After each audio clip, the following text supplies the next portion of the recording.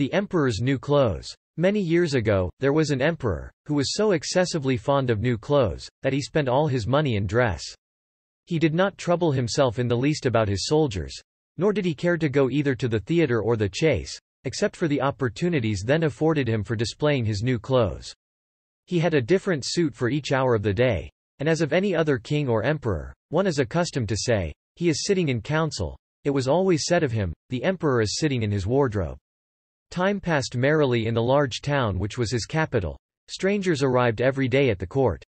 One day, two rogues, calling themselves weavers, made their appearance.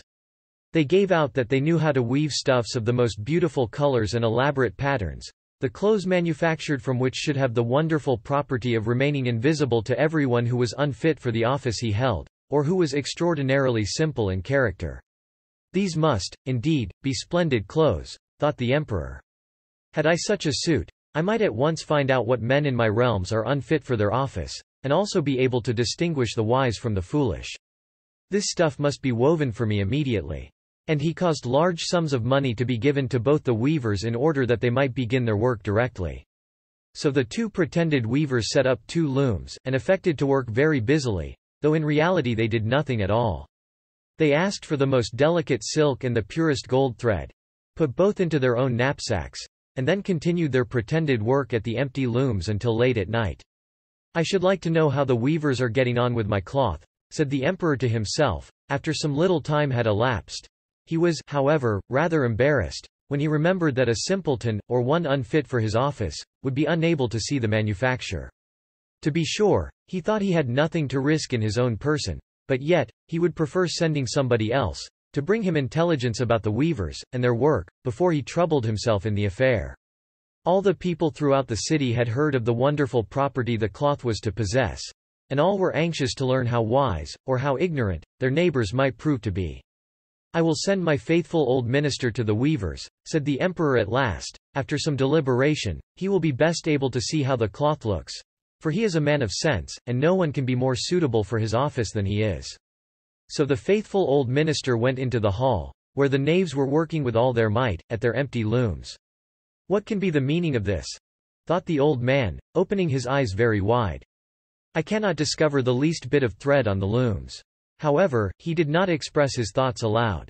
The impostors requested him very courteously to be so good as to come nearer their looms, and then asked him whether the design pleased him, and whether the colors were not very beautiful, at the same time pointing to the empty frames.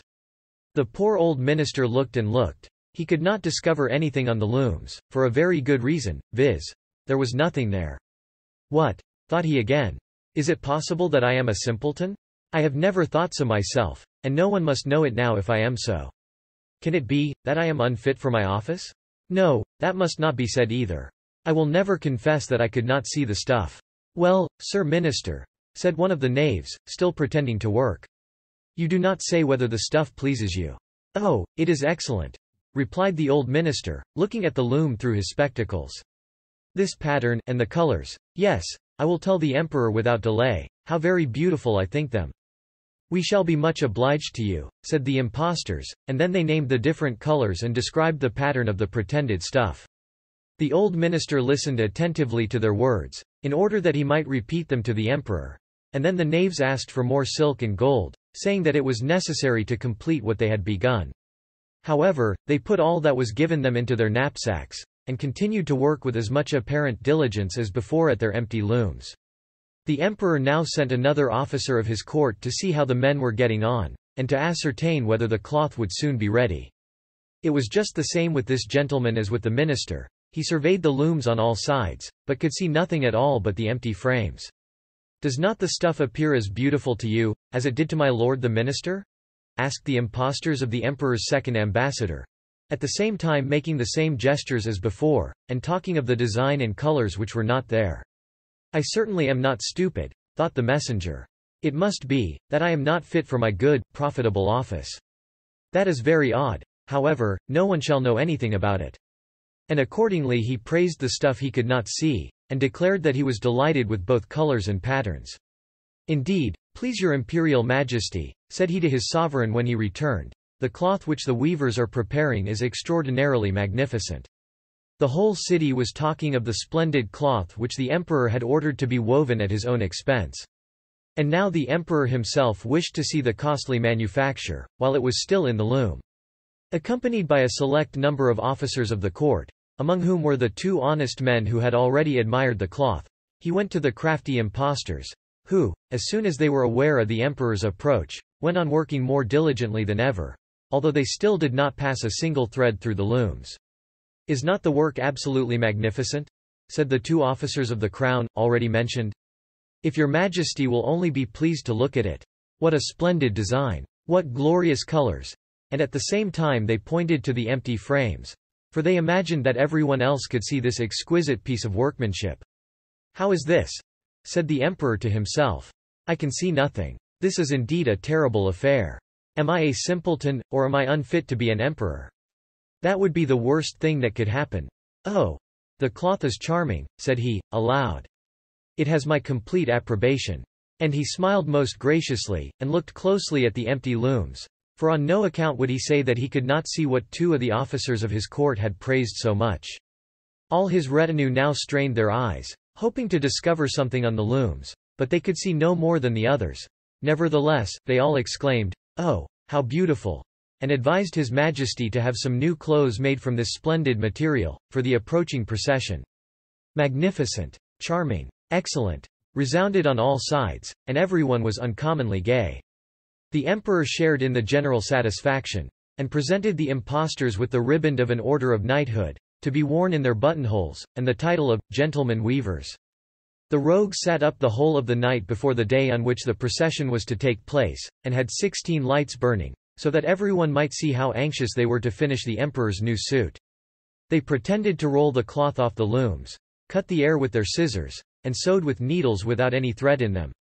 See! cried they, at last. The emperor's new clothes are ready. And now the emperor, with all the grandees of his court, came to the weavers, and the rogues raised their arms, as if in the act of holding something up, saying, Here are your majesty's trousers. Here is the scarf. Here is the mantle. The whole suit is as light as a cobweb.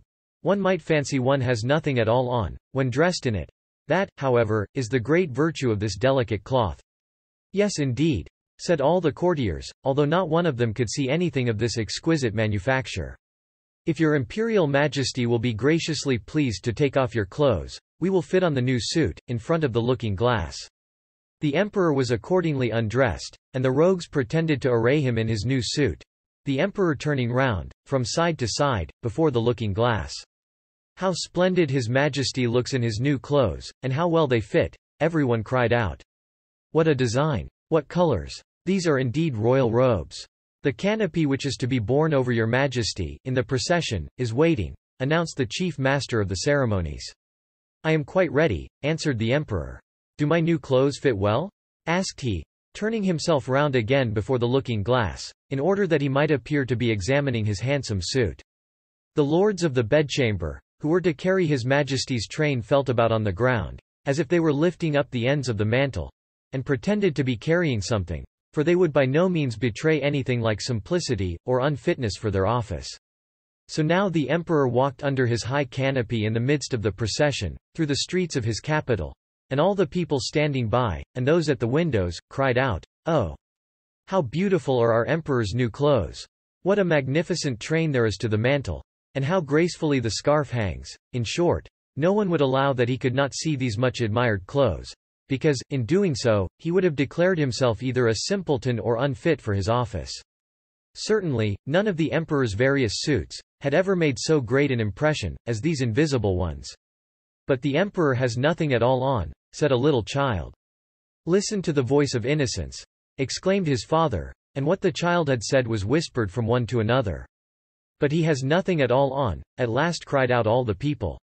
The emperor was vexed, for he knew that the people were right, but he thought the procession must go on now. And the lords of the bedchamber took greater pains than ever, to appear holding up a train, although, in reality, there was no train to hold.